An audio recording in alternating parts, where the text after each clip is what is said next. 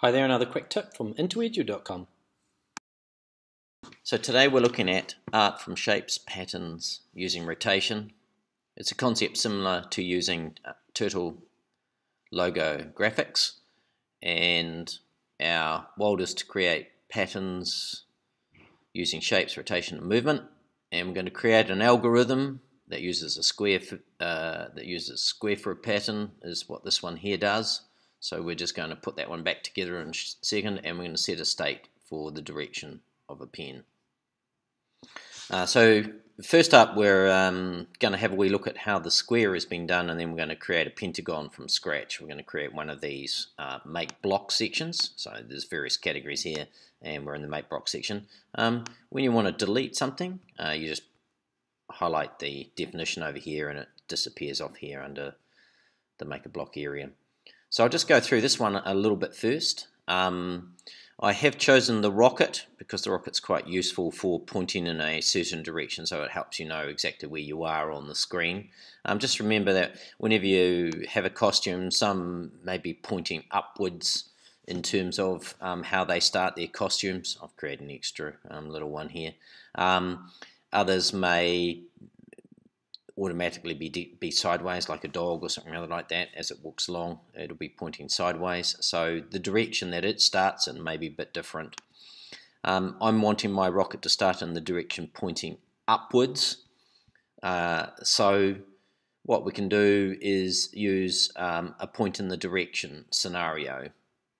So uh, what I'm going to do is first of all show you how to create one of these so that when I put um, this back together so we go in here, um, we click on make a block and we type in the word. I haven't got a pentagon one, so I'm going to put a pentagon one in that I'll use again later on. Are various options here which we're not explaining today, but we'll just say OK. As soon as you do that, over here under make a block appears pentagon and the definition of it appears over here. The definition is what is the piece of programming that's going to go together to make up this block called pentagon or square so that you can use that somewhere in a program. So right now, you know, this pentagon block is not on here. Uh, it's obviously not going to do anything if I just park it there. Um, if I want to throw it away, I can throw it away. So I'm just going to go through how we did the square. Um, first of all, we want to get the point and the direction right for the shape, so we actually understand which is the direction for this one. This can be a bit misleading in here because it does depend on which way the sprite was drawn in the first place. So um, let's just experiment and find out. So I've made a wee program here. Go to the center of the screen, set the size of the rocket to zero, clear any graphics that are on the screen. So here's the, the clear area here underneath the pen, and we're going to be using that a lot today. Um, we set the pen color to a particular color by clicking on the color and then choosing it. And then we used our definition called square. Now over here, the definition square just right now, just as we're just trying to work out the points. And when the green flag is clicked, it should systematically go through this part of the algorithm, then leap over to the defined block called square, and simply right now all it's going to do is point in the direction of minus 90. So let's press the green flag and see what happens. Okay, so minus 90 for this must be obviously pointing down. What's the opposite of minus 90?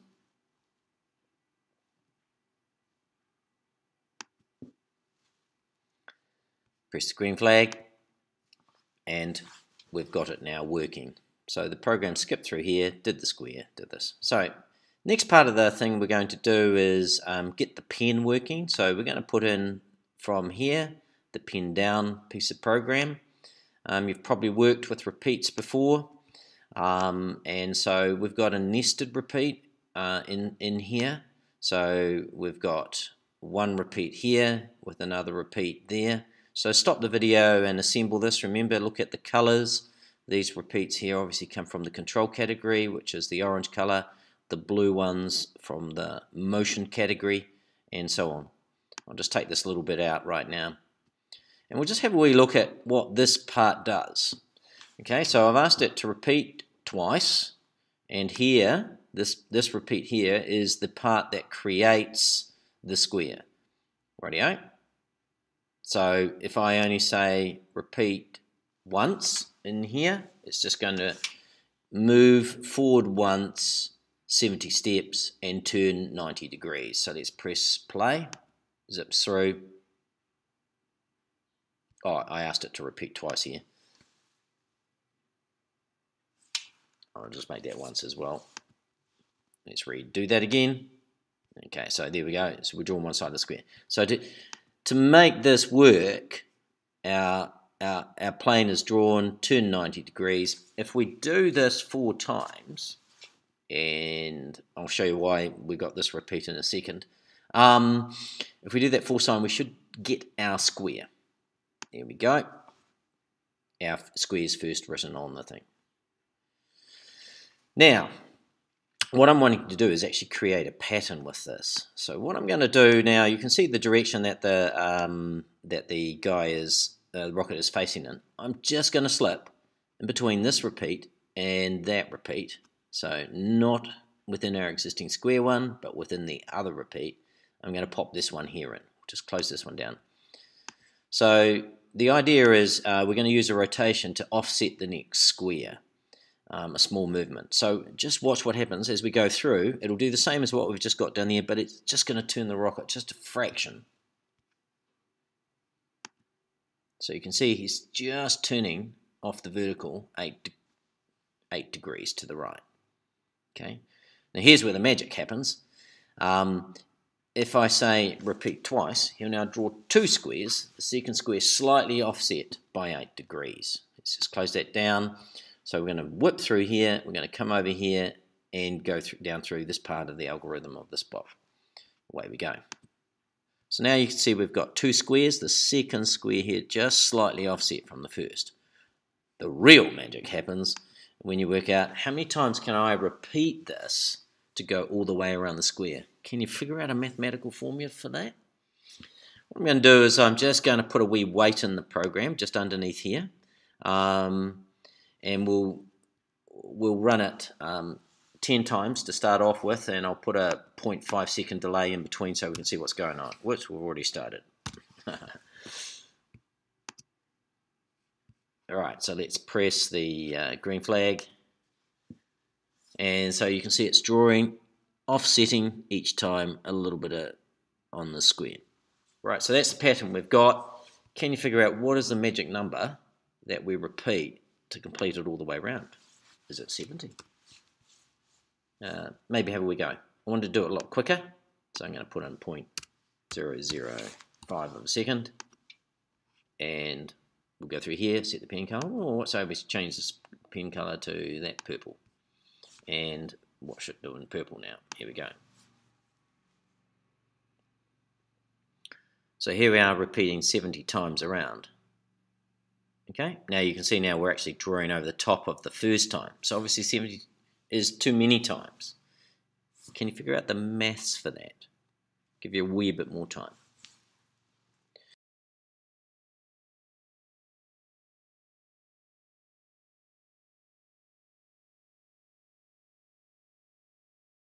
So what I'm going to do now is just show you what I'll, how you can also change your pattern. So there's our existing pattern over on the left. Um, what happens if I just pop this in. Okay, so it draws a square, turns, waits for 0.005 of a second, and then just moves a little bit in direction. Watch how this changes. So we're going to go through this part of the algorithm, jump over to the square and go through here. Here we go. Press play. So you can see we're getting a slightly different pattern. Okay? So putting in a movement, so one of the things you can do is experiment with these things here. Okay? Now the the thing is to decide how many times we need to repeat it so we don't need to keep going over and over our own steps. So what we're going to do is use an operator for that to do some maths. And we're going to do a division. So we're just going to grab this little operator, which is the division sign, and we're going to pop him in here. So we know we've got 360 degrees in a circle. So any shape is based around um, 360 degrees and the angles in that shape. And we know that we're moving, in this case, five, um, 8 degrees each time, offsetting 8 degrees. So simply what I'm doing is, um, to work out the number of times I have to repeat, I'm saying 360 divided by 8 should give me the right number of repeats to do. Let's have a wee look on that now. Right, we're reiterating, which is um, continually trying to improve our program and think about what we're doing so that our algorithm is working in better. Okay, so that's looking complete as a shape. Um, pretty awesome. Okay, why don't we just um, quickly try and define our pentagon now from scratch. What I'm going to do is copy, so two finger click or control click on a, a Windows machine and I'm go, uh, going to duplicate that part of the code and I'm just going to pop it underneath the pentagon definition. Now obviously there's some things need to change. A pentagon, you know, this was the part of the program that drew a square, so what is the part that's going to create a pentagon? Well, we know that a pentagon's got five sides in it. So we're going to be drawing five sides. This is the part of the program. Let's just pull that out for a fraction of a moment. We'll dump that back in here. So this is the part that's going to draw the pentagon. We, uh, we can make it the sides of the pentagon longer or shorter by this number. And the question is, how many degrees um, do we turn each time to create our pentagon? Okay? So there's a bit of maths involved. Um, if it's a five-sided figure, and we've got 360 degrees and we've got to turn five times within that. What we're doing is we can work out by saying 360 divided by 5 or we can actually get Scratch to do it for us. So what we'll do is we'll pop another one of those um, division operators in there and we're going to say 360 divided by 5 All right, that should give us the correct one for that. So we're just making sure we're very careful about where we're putting this back in here. So um, here we go, turning 8 degrees. Why don't we experiment with this? Um, turn 10 degrees and change that to 10 as well. Because every time I turn 10 degrees, it's going to affect the number of times I need to repeat it. Um, and we've got our definition for a pentagon here. So what we're going to do now is this is our beginning program up here. We're going to go back to more blocks. We're going to pull that square off there so it doesn't do the square anymore. Just drop it down here for the sake of having it down there. And um, we're going to grab our pentagon block and put it underneath. So what's it going to do? It's going to go when the green face click, go to 0, 0, do these things. Well, let's change the color. We'll pick ooh, that red. Um, then it's going to go to Pentagon and run through that part of the program. Press green flag.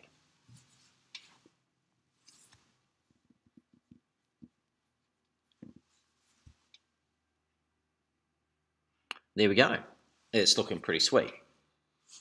Um, obviously, uh, we can change any one of these things if we wish to. So if I decide to make it slightly bigger shape, 50, um, I'm going to see what happens if I just offset by um, 3 degrees.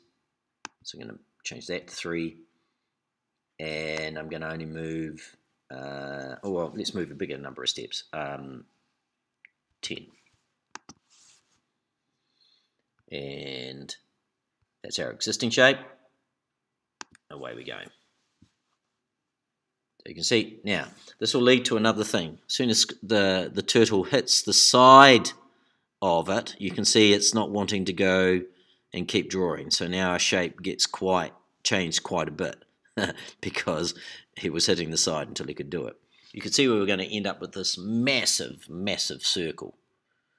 So which bit of my program would I change to try and actually make it so that I could draw this Right, there's our pentagon. You can see it's been repeated. Um, which part of my program would I change to make sure this fitted all within that space? Maybe you have a wee play with some of those ideas. Um, so uh, what I'm just going to show you, just to, you know, once you've really got the idea of this, you can then string some things together. So here we are going to a certain place on the screen, setting our size here, doing the pentagon shape. Um, uh, so we could change that. We know the Pentagon one's not working too well just now. Um, I've created some extra ones down here for those, but I'm not going to show you those too quickly. You can stop the video and have a look, but maybe your challenge is try and recreate these yourself. Um, and so what's happening here is um, we are uh, clearing the graphics, setting the pen color to this, uh, drawing the triangle. Then we're going to take our pen up, go to a different position on the screen, uh, set our pen color to the color blue, and then we're going to draw the hexagon. Okay, so when I ask for the hexagon, it's going to jump down here and actually perform this part down here. So let's press the green flag and see what we get. Uh, so we're drawing the triangle part, so we're stuck in this bit right now, and now we're drawing the hexagon part underneath. Okay, so pretty cool colours. Um, I've got them both overlapping. Um, you know, I might decide that I want to uh, not actually having them overlapping, but having them in a different place. And so I would change uh, the position of where I am on the x-axis. Okay, so say I wanted to draw it more over here, um, you can see where my mouse is here, and over here is uh, the actual definition of, or the x and y position of the mouse. So when I'm over there, I can see it's minus 180, 64. So why don't we just try something over there like that? Minus 1, minus 180 and minus 64. I'll make it 60 just to round it off. See if that gives us a better position on the screen to separate the two patterns. Here we go. Question is, is do I get round without hitting the side like we did earlier on? Just fits. Ooh, right on the edge. Anyway, that's a good place to leave it. You have some fun experimenting with these shapes and um, drawing some really cool patterns, playing with the uh, how many degrees you turn, um, play with the number of steps you move to change the shape as well, and yeah, see what you can come up with.